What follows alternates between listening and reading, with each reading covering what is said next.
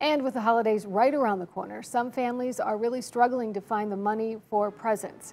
But in Olmsted Township, the community is making sure that no child goes without a toy. The fire department there kicked off its annual Toys for Tots collection today, and Santa stopped by for the big event, and even the Grinch got into the holiday mood. It is the third year for the event, but the first time they're doing it as a drive-through to keep people safe and socially distant. They're hoping to keep the spirit of the season alive during this very difficult year. Everyone is struggling at every age.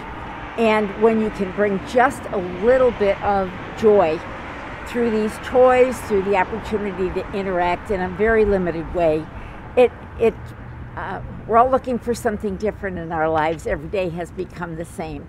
So this is something just a wonderful event and a great opportunity for the entire area. Now you can drop off new unwrapped toys anytime between now and December 5th. They're also collecting non-perishable food items for Christians in Action, the food pantry there.